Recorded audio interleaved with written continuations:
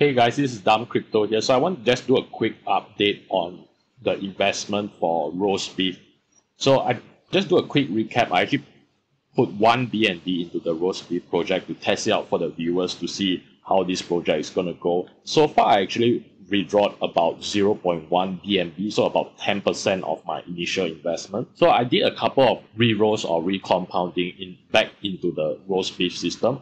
But right now you can see that my rewards is 0.02 BNB and this is I think over just a little maybe over 15 or 16 hours so i think my rewards are going to be maybe about 0.04 or 0.05 bnb a day so it will probably take me about 20 days to a month to maybe get back my initial capital. It could take even longer than that if the contract value keeps declining. And I think it's not looking good so far. So, so far, I, I haven't really been re-roasting anymore. I did re-roast um, twice the past two days. I think I think right now I'm just going to let my rewards accumulate and I'll see where it goes and how the contract value changes. So I do hope that they so I do hope that this beef swap system that they put on top of the roast beef system is going to help the roast beef system.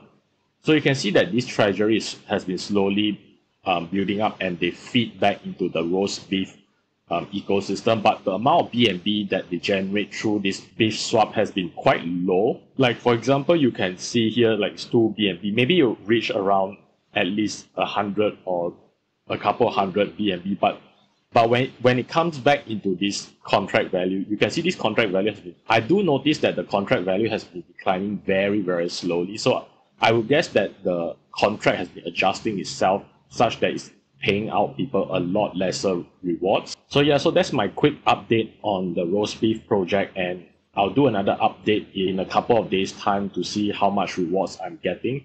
But so far the rewards has been quite minuscule. So if you guys like the video, please give the video a thumbs up and please subscribe if you're new to the channel. Thanks for watching.